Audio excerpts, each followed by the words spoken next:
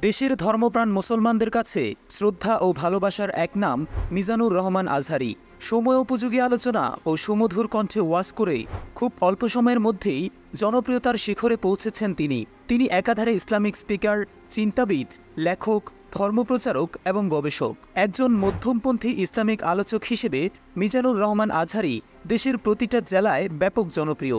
তার ওয়াজ মানেই জনসমুদ্রের জোয়ার। দূর দূরান্ত থেকে তার ওয়াজ শুনতে ছুটে আসে ধর্মপ্রাণ মুসল্লিরা। হাস্যকর ও অযাচিত কথাবার্তা শুনিয়ে কিছু নামধারী ইসলামিক বক্তা যখন ওয়াজ মাহফিলকে তামাশা বানিয়ে ফেলেছিল, ঠিক তখনই ওয়াজের ময়দানে হাজির হন মিজানুর রহমান আজহারি। এই কারণে তরুণ থেকে শুরু করে বৃদ্ধ। সব বয়সী মানুষের কাছেই এই ইসলামিক স্কলারের গ্রহণযোগ্যতা অন্য সকলের চেয়ে অনেক বেশি।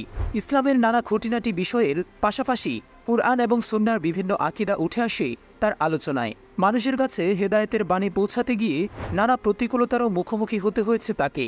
এমনকি নিজের প্রাণপ্রিয় মাতৃভূমি ত্যাগও করতে হয়েছে তাকে। মিজানুর রহমান আজহারের জন্ম ঢাকার ড্যামরায় হলেও তার পৈতৃক নিবাস কুমিল্লার মুরাদনগরে। তার পিতা একজন মাদ্রাসা শিক্ষক হওয়ায় বাল্যকাল থেকেই কড়া ধর্মীয় অনুশাসনের মাধ্যমে বড় হয়েছেন তিনি। সেই সাথে তিনি ছিলেন তুখর মেধাবী। দারুণ নাজাদ সিদ্দিকিয়া কামিল মাদ্রাসা হতে তিনি দাখিল এবং আলিম পরীক্ষায় জিপিএ ফাইভ পেয়ে উত্তীর্ণ হয়েছেন। দু হাজার সাত সালে ইসলামিক ফাউন্ডেশনের আয়োজিত শিক্ষাবৃত্তি পরীক্ষায় প্রথম স্থান অধিকারের মাধ্যমে মিশরের জনপ্রিয় আল আজহার ইসলামিক ইউনিভার্সিটিতে অধ্যয়নের সুযোগ পান মিজানুর রহমান আজহারি।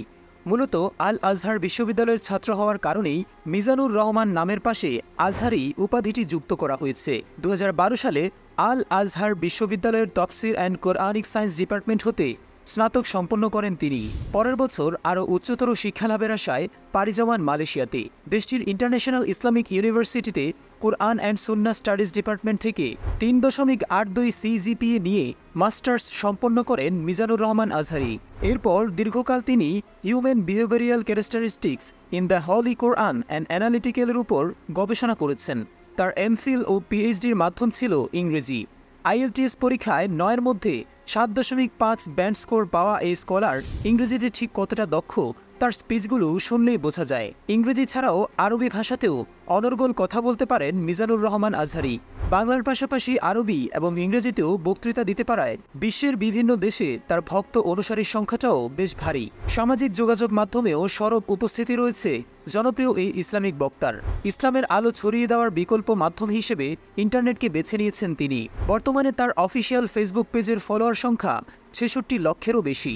তার ইউটিউব চ্যানেলে সাবস্ক্রাইবারের সংখ্যা দুই দশমিক আট দুই মিলিয়ন। দু হাজার চৌদ্দ সালের উনত্রিশ জানুয়ারি জনপ্রিয় এই ইসলামিক বক্তা বিবাহ বন্ধনে আবদ্ধ হন। পারিবারিক জীবনে দুটি কন্যা সন্তানের পিতা তিনি। মার্জিত ভাষায় সময়োপযোগী এবং বাস্তববাদী আলোচনার কারণে তিনি দেশ বিদেশের লাখো তরুণের কাছে এক অনুপ্রেরণার বাতিঘর। তিনি তরুণদের দেখিয়েছেন কীভাবে ইসলামের অনুশাসন মেনে কুরআন ও সুন্নার পথে চলেও নিজেকে স্মার্ট হিসেবে উপস্থাপন করা যায়। বর্তমানে মালয়েশিয়াতে অবস্থান করলেও শীঘ্রই দেশে ফেরার ঘোষণা দিয়েছেন তিনি।